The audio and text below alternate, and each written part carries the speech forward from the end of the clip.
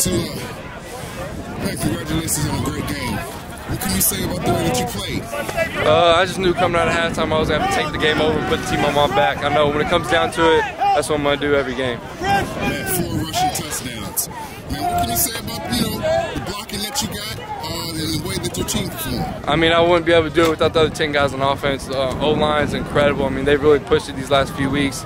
My tight end, Bryson Rogers, and my other one, Marcus Blakey, are incredible. So that's how I get it done. You guys have only dropped one game, man. What can you say about how the season's shaping up? Um, I feel like we're coming, finishing pretty strong right now. I mean, we got a rematch against the only team we lost to next week. That's what I hear, so we'll see how it goes. All right, congratulations on a good win. Thank you, appreciate it.